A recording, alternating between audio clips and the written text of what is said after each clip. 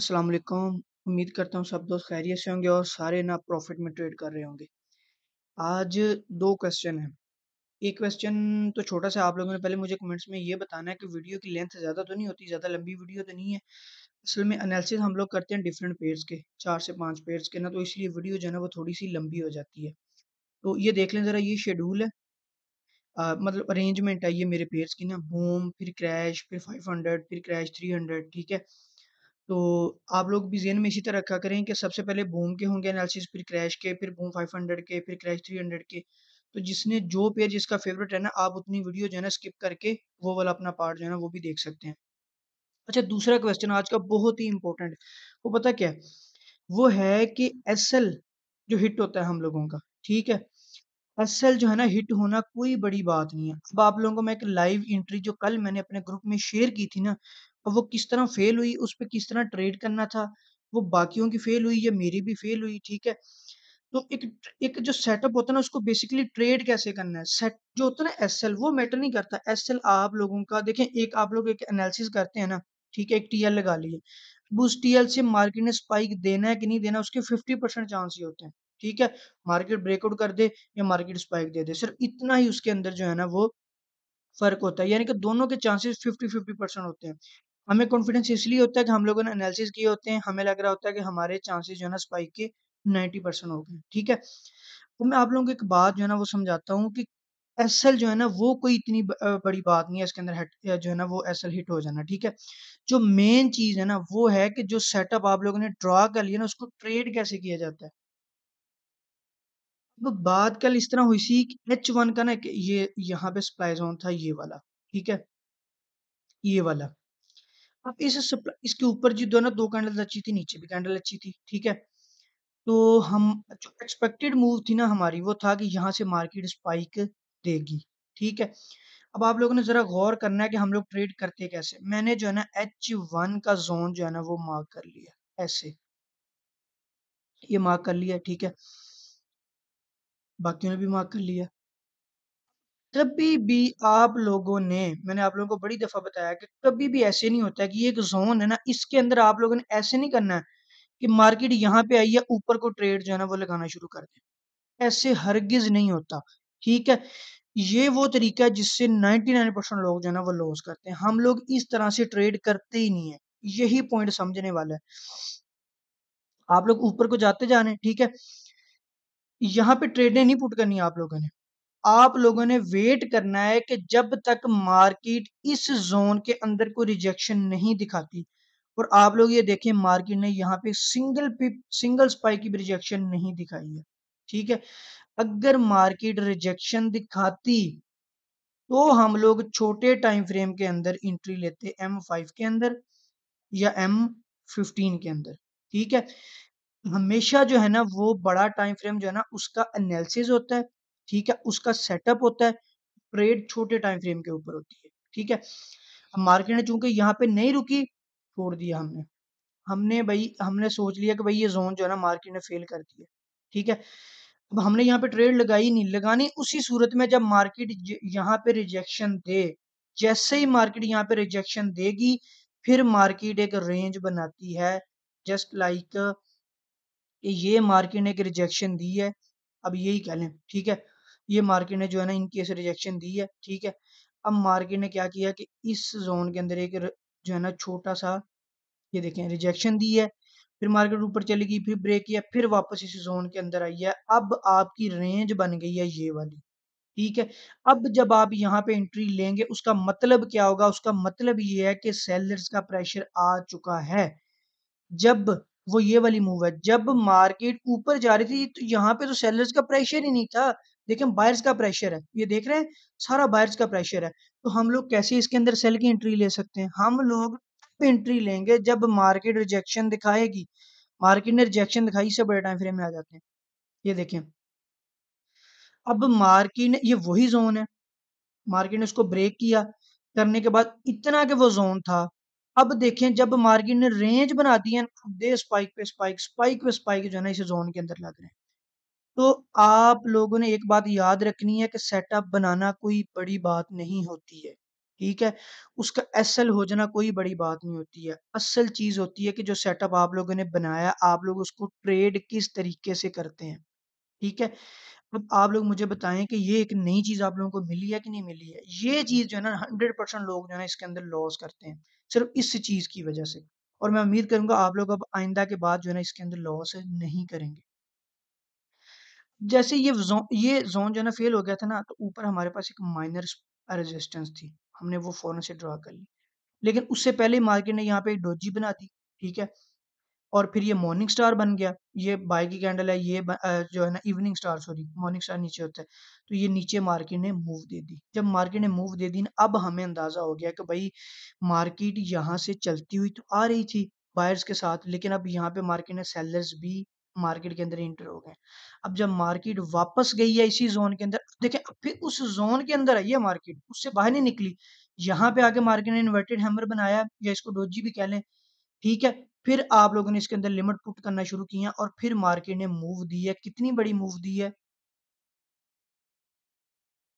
Market ने ये move दी है यहाँ से लेके 704 से लेके 605 यानी कि 100 पिप्स की मूव दिया और ये सेफ़ तरीन मूव थी। लिमिट कहाँ से कहाँ तक लगाई है? यहाँ से भी अगर आपने लगाई हो ना 886 से तो ये आपका 709 यानी कि आपके कोई 20 पिप्स बनते हैं, ठीक है? 10 पिप ऊपर एसएल रख लें आप। तो नहीं अगर नहीं 10 अ, पिप एसएल रखना तो इस तरह एक टीएल ड्रा कर लें। ठीक है? तो ये आप लोगों का 20 पिप का एसएल हो जाएगा। ऊपर एसएल लगा दें, ठीक है?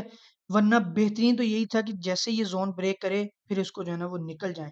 क्योंकि 10 पिप का एसएल जो है ना वो कोई मायने नहीं रखता। वो आप लोग अगर 0.2 की लॉट के साथ ट्र ट्रेड कर रहे हैं तो मैक्सिमम 5 से 6, 7, 8 डॉलर बनता है। और ये डॉलर जब आप 100 डॉलर की मूव पकड़ते हैं तो अर 100 पिप्स की पकड़ेंगे तो आराम से फ़र्क जो है ना वो क्लियर हो जाता है। ठीक है? ये पॉइंट मैं इसलिए इस पे इतना ज़ोर लगा रहा हूँ कि एनालिसिस तो आप लोग डेली करना सीख ही रहे हो, लेकिन ये उस पे ट्रेड करना जो है ना वो बहुत ज़्यादा इम्पोर्टेंट है और बहुत ही ज़्यादा अहम होता है, ठीक है? इस चीज़ को आप लोगों ने जो है ना वो प्रैक्टिस करना है और इस चीज़ को ज़हन से निकालना नहीं है कि जब भी कोई ज़ोन आए या जब भी कोई टीएल आए तो उस पर ट्रेड किस तरह से की जाती है, ठीक है? इसी वजह से मैं जो है ना सिग्नल्स के खिलाफ हूँ और सेटअप के जो है ना वो हक में हूँ कि सेटअप जो है ना वो आप एक बंदे को 10 दफ़ा बताएँगे ना, तो जो उसके बाद 11, 12, 13 तो उसके बाद वो करेगा ना सेटअप, उसके बाद खुद बनाएगा, आपके सेटअप देखेगा, तो उसको खुद ही अंदाज़ा हो जाएगा कि यार ये एक सेटअप भाई ने भेज दिया, इसको मैंने अब ट्रेड कैसे करना है। सिग्नल से अंदाज़ा नहीं होता है। अब मैंने आप लोगों के लिए ग्रुप भी बना दिया व्हाट्सएप के ऊपर, ठीक है? अगर कोई आना चाहे तो मोस्ट वेलकम है। उसमें भी लेकिन होगा यही चीज़, जो इस तरह मैं ये जो आप लोगों को बता रहा हूँ ना यूट्यूब के ऊपर सेम टू सेम यही चीज़ होगी, ठीक है? लेकिन उसमें मैंने ये सोचा है कि संडे को या सैटरडे को एक एक्स्ट्रा एक्स्ट्रा क्लास रखा करेंगे जिसमें लाइव क्वेश्चन जो है ना हम किया करेंगे। मैं उसके आप लोगों के जो है ना वो लाइव आंसर दिया करूँगा अगर मज़ीद किसी को कन्फ्यूज़न होगी, ठीक है? तो अच्छा ये तो हो गया। अब हम लोग बात करते हैं इसकी नेक्स्ट मूव की। अच्छा ये देखें ये टीएल हम लोगों ने लगा ली है, ठीक है? टीएल हमारे पास ये लग गई है और ये ज़ोन जो है ना ये सेलर्स जो है ना थोड़ा-सा यहाँ पे जो है ना सेलर्स भी एक्टिव हो गए हैं। तो आप लोग छोटे टाइम फ्रेम के अंदर जाएँ, अगर आप लोगों को कोई अच्छा ज़ोन मिलता है या कोई अच्छी टीएल मिलती है, जैसे ये, ठीक है? तो आप लोग इन चीज़ों को अब ट्रेड कर सकते हैं। उसकी वजह क्या है? उसकी वजह ये है कि अब यहाँ पे सेलर्स आ चुके हैं। लेकिन एक बात आप लोगों ने साथ में ये भी जेन रखनी है, ये क्या बन रहा है? ठीक है? ये आप लोग देख रहे हैं? अगर तो जब भी रेंज बनती है ना, तो उसमें आपने सेलर्स और बायर दोनों के बराबर जो है ना वो सेटअप ड्रा करने होते हैं, ठीक है? क्योंकि रेंज किस साइड को ब्रेक कर जाए इसका कोई आइडिया नहीं होता है। अब ये भी हो सकता है कि मार्केट यहाँ से है, सेलर्स हैं, एक और स्विंग बनाए। लेकिन मार्केट इसको एज़ अ फ्लैग भी कह सकती है, इसका पोल छोटा है और जो है ना ये चीज़ बड़ी हो गई है, लेकिन फिर भी अगर मार्केट इसको ब्रेक करती है, तो यहाँ से मार्केट ऊपर भी निकल सकती है, ठीक है? दोनों चीज़ें आप लोगों ने ज़हन में रखनी इस टीएल के ऊपर आएगा, आप लोगों ने अगर एंट्री लेनी भी हुई, तो इसका मैक्सिमम कितना 4, 5, 6 पिप का जो है ना वो आपका एक जो है ना वो एसएल बनेगा, हो भी जाएगा, तो कोई इतनी इश्यू वाली बात नहीं है, ठीक है? तो मेन चीज़ जो थी वो आपके सीखने वाली थी इसके अंदर के एक सेटअप जो बन जाता है उसको फिर ट्रेड कैसे करते हैं। अच्छा अब टाइम ज़्यादा हो रहा है तो बढ़ते हैं अपने एनालिसिस की तरफ़। सबसे पहले आते हैं हम लोग बूम थाउज़ेंड की तरफ़। देखें काफ़ी दिनों से जो है ना मेरा गला भी ख़राब है तो ज़्यादा थोड़ा-सा खरखराहट होती है तो यार इसको बर्दाश्त कर लीजिएगा। तो ये देखें ज़रा हम लोग जो है ना वो हमेशा बड़े टाइम फ्रेम से एनालिसिस स्टार्ट करते हैं। यहाँ पे हम लोग वेट कर रहे हैं कि मजीद एक डोजी बन जाएगी यहाँ जो है ना ये कैंडल बाय में निकल जाएगी ठीक है?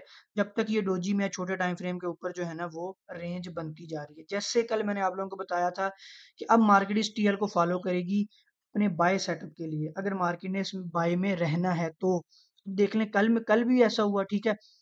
कल मार्केट ने जो है ना, वो ये वाली ये वाली बड़ी कैंडल जो है ना, वो ये जो जो है ना, वो बाई की जो है ना, वो लगाई है। अब मैं आप लोगों को बताता हूँ कि इस कैंडल को हम लोगों ने ट्रेड कैसे किया इवन कि कल जब हम वीडियो बना रहे थे तो मैंने एक छोटा सेटअप ड्रॉ भी किया होता और मैं आप लोगों को बता भी रहा था कि यार ये जो सेटअप है ना ये मुझे लग रहा है कि यहाँ से जो है ना वो मेरा आज का टारगेट पूरा हो जाएगा। जब तक आप लोगों को वीडियो पहुंचेगी ना तो ये कहीं का कहीं निकल चुका होगा। तो ये बात भी आप लोगों को मैंने समझानी है। मैं अभी आता हूँ। पहले मैं आप लोगों को सेटअप दिखा दूँ। ये देखें ज़रा। जब मार्केट एच वन की उस टीएल के पास आई ना एच फोर की इस टीएल के पास आई मार्केट ठीक है? तो मैंने आप लोगों को बताया कि जब भी मार्केट ने किसी बड़े टाइम फ्रेम के जोन या टीएल को टच करना होता है, वहाँ से रिजेक्शन देनी होती है या कोई भी मूव दिखानी होती है ना तो मार्केट उसके अकॉर्डिंगली छोटे टाइम फ्रेम में एक सेटअप बना देता है। क्विक सेटअप जिसको बोलते हैं, ये देखें जरा हम फाइव के अंदर। ये मेरे ख्याल में कोई दो घंटे इसको लगे होंगे, ये उसने सेटअप जो है ना वो बना दिया। यहाँ पे जो है ना उसने एक, क्या बनाया? है मैं छोटा करता हूँ, ये देखें जरा। मार्केट ने जो है ना, वो यहाँ पे एक वेज बना दिया। जिसको बोलते हैं डिसेंडिंग वेज ठीक है? और वेज और डिसेंडिंग वेज और चैनल के साथ हमेशा डाइवर्जेंस होती है और ये देख लें, इसमें डाइवर्जेंस भी दी हुई थी नीचे, ठीक है? अब मार्केट यहाँ से निकली है। इसका एसएल कितना बनता था? बड़ा ही छोटा एसएल बनता था। यहाँ से एंट्री लेते, ठीक है? अठारह से दस जो है ना, वो इसका एस लग देते, पाँच सौ दस। इस तरह मैंने किया, ठीक है? अब मार्केट ने जो है ना, यहाँ से हंड्रेड पिप की जो है ना, वो मूव दी। ये बेसिकली मूव एच वन की टीएल की है एच फोर की टीएल की है, इसकी मूव है बेसिकली लेकिन इंट्री हमने एम फाइव के अंदर ली क्यों? ताकि हमारा एस एल छोटे से छोटा जितना भी हो सके वो हो जाए। अब सेम टू सेम मार्केट वापस उसी टीएल के ऊपर आ गई है, ठीक है? अब ऊपर वाली टीएल हम लोग ये कह रहे थे कि जब तक ये ब्रेक मार्केट ब्रेक करके इसके ऊपर इसके ऊपर जो है ना वो क्लोज हो कैंडल ठीक है? वो क्लोज हुई भी लेकिन फिर भी मार्केट नीचे आ रही इसका मतलब कभी मार्केट के पास उतने पायर्स नहीं है कि इस टीएल को ब्रेक करके मार्केट ऊपर निकले, ठीक है? अगर ये टीएल ब्रेक करती है एच फोर वाली, नीचे क्लोजिंग देती है देन तो कंफर्म है कि ये सेल जाएगी जाएगी, ठीक है? तब आप लोगों ने इसके अंदर एंट्री नहीं लेनी। तब जो बंदा इसके अंदर होल्ड करेगा ना, वो मर जाएगा। वो फिर ये कहेगा कि बी वन जो है ना वो गैम्बलिंग करता है ब्रोकर ऐसे करता है, हम गए, हमारा अकाउंट वॉश हो गया, सारा कुछ हो गया, तब होगा जब आप लोग इस टीएल से ऊपर हैं तो आप लोग ऊपर हैं, जब नीचे आ गए ना तो बेशक इससे आने के पंद्रह पिप के बाद ही मार्केट स्पाइक दे दे। आप लोगों ने अपनी साइकोलॉजी खराब नहीं करनी है। जब एक दफ़ा टीएल ब्रेक हो गई ना मेजर तब खत्म है सब कुछ। मार्केट उससे ऊपर आए, दोबारा उसको रिटेस्ट करे वॉल्यूम दिखाए बाहर का फिर ही हम लोग इंटर होंगे वरना इसमें इंटर नहीं होंगे। ठीक है? अच्छा एच वन के अंदर ये देखें जरा। अब बज़ाहिरन हमें एक रेंज तो लग रही है, लेकिन रेंज के अंदर भी मार्केट देखें, अब ये 200 पिप की तो कम से कम रेंज है, बल्कि 300 पिप की 200 पिप की है तकरीबन 300 की रेंज है। अब हम ऐसे तो नहीं कर सकते ना कि भाई ऊपर से ट्रेडें लगी हुई या 300 पिप नीचे को होल्ड कर लें पाएगी नहीं। इसके अंदर भी फिर सब छोटे छोटे जो है ना, वो सेटअप बनते हैं। वो कैसे बनते हैं, ये देखें, ये रेंज चल रही है। अब मार्केट एच एच फोर बड़ा टाइम फ्रेम है, इस मेजर टीएल इसके अंदर एक और छोटी टीएल हम लोगों ने ड्रॉ कर ली है, ठीक है? ये देखें। मार्केट इसको फॉलो करती हुई ऊपर आ रही, जैसे इसको ब्रेक किया ड्रम से नीचे आ गई। फिर से एक नया उसने जो है ना स्ट्रक्चर बना दिया, अब फिर हम इस टीएल को जो है ना फॉलो करते हैं। जैसे ये टीएल टूटेगी, हम फिर इसको छोड़ देंगे। ठीक है? अगर हम लोग एच फोर की टीएल पे रहेंगे ना तो ये इसकी ब्रेक करते करते भी ये तीस से चालीस पिप हमारे ले जाएगी। लेकिन हमने उससे भी छोटे टाइम फ्रेम के अंदर मजीद टीएल लगा के रखनी है, ठीक है?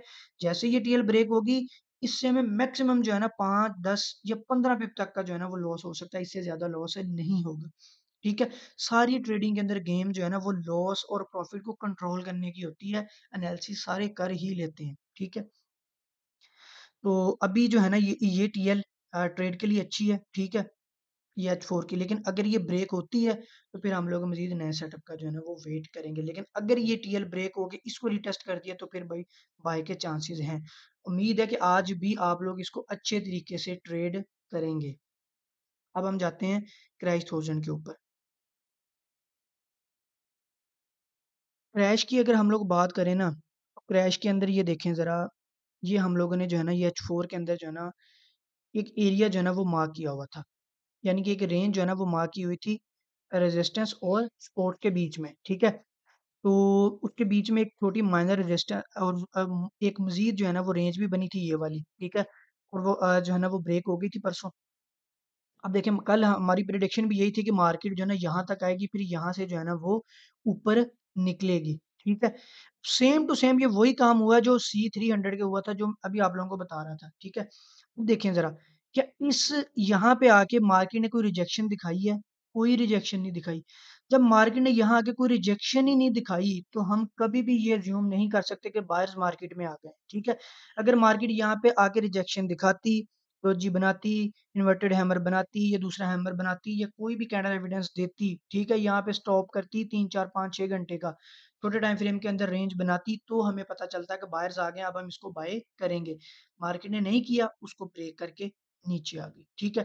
अब चूँकि जब ये ब्रेक हो गया, अब हमारे पास जो अगला क्या अगला काम क्या? अगला काम हमारे पास जो है ना वो सिंपल ये है कि हम लोग इसके रीटेस्ट का वेट करें। अब रीटेस्ट करेंगे तो मार्केट यहाँ से ऐसे नीचे आएगी। रीटेस्ट जो है ना वो तकरीबन हो रहा है। ये बायर्स की कैंडल जो है ना वो छोटी लगी है, इसका मतलब है कि यहाँ बायर्स का प्रेशर कम हुआ है।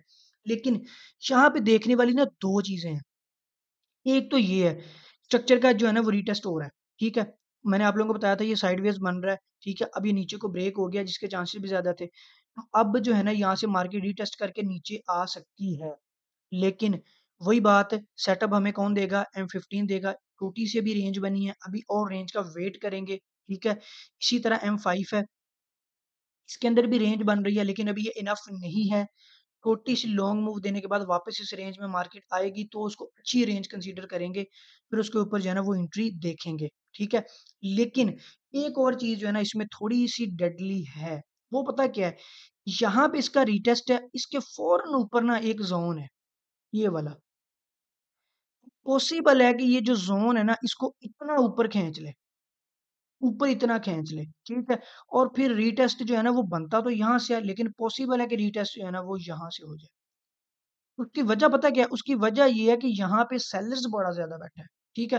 ये कैंडल देखे उन्होंने तकरीबन 100 पिप की जो है ना वो कैंडल लगाई है, इतना ज़्यादा जो है ना वो सेलर बैठा हुआ है, ठीक है? तो ये आप लोगों ने बात ज़हन में रखनी है, अगर रेंज इसी रिटेस्ट के ऊपर बन जाती है अच्छी छोटे टाइम फ्रेम में, तो ये एंट्री पॉइंट होगा, अगर नहीं होगा तो फिर हमारा ये तो मस्ट एंट्री पॉइंट होगा, ठीक है? तो सी वन के अंदर आप लोगों ने ये बात आज याद रखनी है। अब हम आ जाते हैं बूम 500 की तरफ़। बूम 500 कमाल का कल जो है ना वो उसने ट्रेड दी है, ठीक है? पहले तो मैं आप लोगों को वो ट्रेड दिखाता हूँ। वो ट्रेड है, वो भी यहीं पे थी।